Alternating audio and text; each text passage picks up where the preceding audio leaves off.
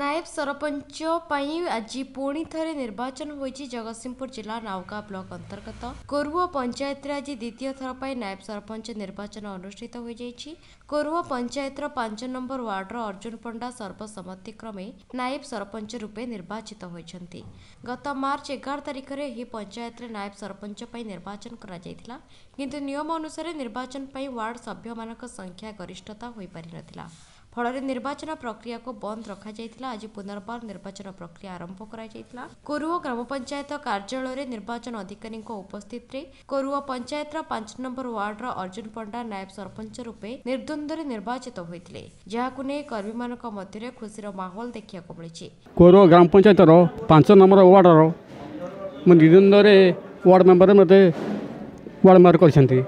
ଏବଂ ଅଠରଟି ୱାର୍ଡ଼ ଅଠର ଉଣେଇଶଟି ୱାର୍ଡ଼ର ମୋତେ ନ୍ୟାୟ ସରପଞ୍ଚ ଭାବେ ନିଦ୍ୱନ୍ଦ୍ୱରେ କରିଛନ୍ତି।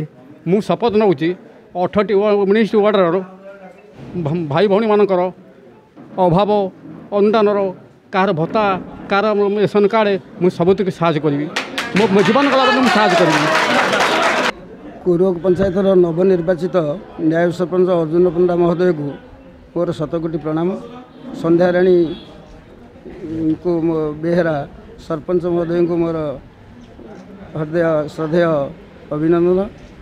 କୁରୁଅ ପଞ୍ଚାୟତର ପାଞ୍ଚ ବର୍ଷର ଯେଉଁ ସରପଞ୍ଚ ଥିଲେ ତାଙ୍କର ଯେଉଁ ଗୁଣ୍ଡାରାଜ ଶାସନ ତା ଏଗ୍ନେଷ୍ଟରେ ଆଜି ଆମେ ନିର୍ବାଚିତ କରିଛୁ।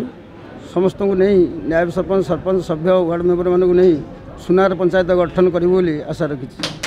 ଜଗତସିଂହପୁର ଆଲୋକ କୁମାର ଶିଶୁଙ୍କ ରିପୋର୍ଟ ଏନ୍ଏନ୍ଏସ୍ ଓଡ଼ିଆ।